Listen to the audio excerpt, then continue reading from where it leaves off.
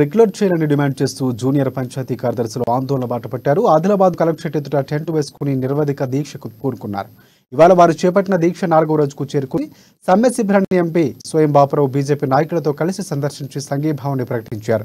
క్షేత్రస్థాయిలో పనిచేసే ఉద్యోగుల పట్ల రాష్ట్ర ప్రభుత్వం అవలంబిస్తున్న వైఖరిపై తీవ్రస్థాయిలో మండిపడ్డారు. జూనియర్ పంచాయతీ కార్యదర్శులు న్యాయబద్ధమైన పోరాటానికి భారతీయ జనతా పార్టీ ఎల్లప్పుడూ మద్దతు ఉంటుందని తెలిపారు. రాష్ట్ర ప్రభుత్వం దిగివచ్చేదాకా పోరాటాన్ని ఆపవద్దని పిలుపునిచ్చారు. ప్రభుత్వం మెడలు వంచైనా హక్కులు సాధించుకోవాలని తెలిపారు.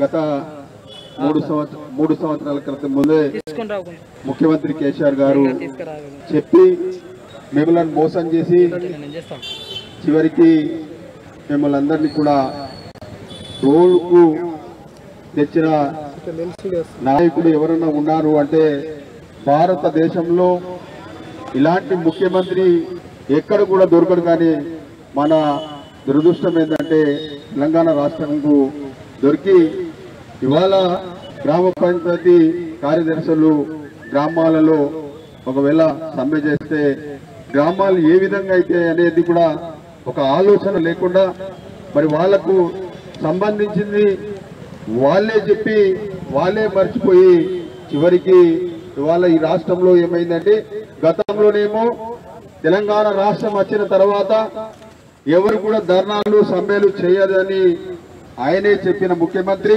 చివరికి ధర్నాలు సమ్మెలు చేసి ఆ చౌకులను కూడా తీసిన ముఖ్యమంత్రి.